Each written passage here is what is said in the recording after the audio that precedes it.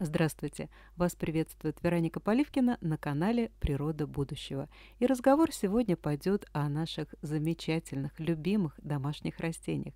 У меня коллекция фиалок, большая, и каждая весна – это, конечно, заботы.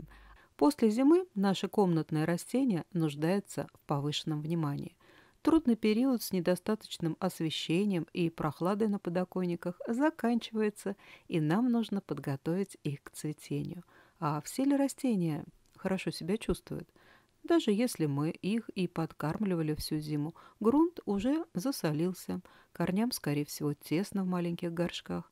Недаром весной комнатные растения пересаживают.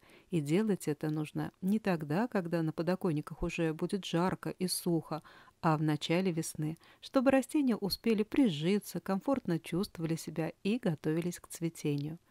Ведь нужно помнить о регулярном поливе или, напротив, не переувлажнять горшок, вовремя удобрить, но не перекормить, провести профилактические заботы от насекомых. Многим же известна такая напасть, как мошки, которые порой берутся ниоткуда и досаждают, принося вред не только растению, но и дискомфорт нам. Так все-таки можно облегчить себе жизнь?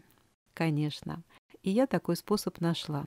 Уже неоднократно рассказывала на канале о диатомите, природном почвоулучшителе. Используют его при составлении грунта для рассады, улучшения почвы в грядках. Но вот те, у кого нет огорода, ничего о нем не знают.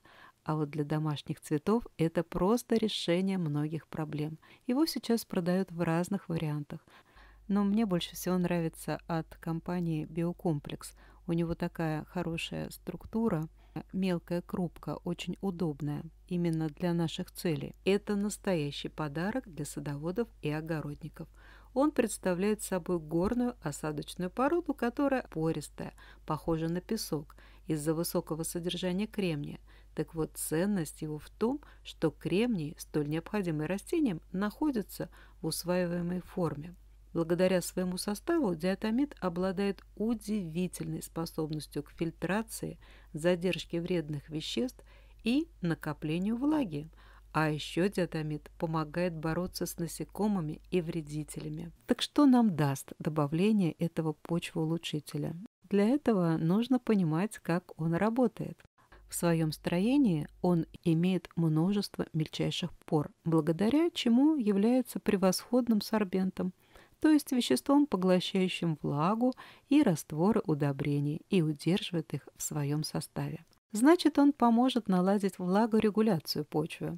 Нам не придется часто поливать растения или бояться залить корни. Теперь за этим будет следить почвоулучшитель. А когда не будет излишней влажности, мы предотвратим развитие патогенной микрофлоры. Корни перестанут подгнивать, не будет запаха, сырости, которые, кстати, так любят мушки и другие вредители. Теперь мы не сможем переудобрить растения, ведь все излишки быстро будут собираться в грануле и расходоваться по мере необходимости. То есть мы достигнем пролонгированного действия вносимых удобрений. Ну и само по себе диатомит – это источник кремния и других макро- и микроэлементов и в доступных растению формах. А что же мы получим взамен? Здоровые, сытые, счастливые растения с минимальным уходом. Осталось только разобраться, как применять. Природный почвоулучшитель – это не грунт, в который мы сажаем растения, а добавка. На 4 части нейтрализованного торфа мы берем одну часть диатомита. Смешать очень легко. Отмеряем, например, стаканчиками. Один стакан почвоулучшителя и 4 грунта – Полученный субстрат мы можем пересаживать или переваливать растения. При перевалке земляной ком не нарушается, а при пересадке нужно немного убрать старый грунт, освободить корни, при необходимости их немного подрезать. Не пересаживайте растения сразу в очень большой горшок. Разница должна быть сантиметра 3 в диаметре. При пересадке желательно удалить цветоносы, ведь растение должно адаптироваться, укорениться. Но с таким хорошим помощником это пройдет очень быстро, и растение зацветет в более ранние сроки. Всегда стараюсь показать результат. Вот пересаженная герань.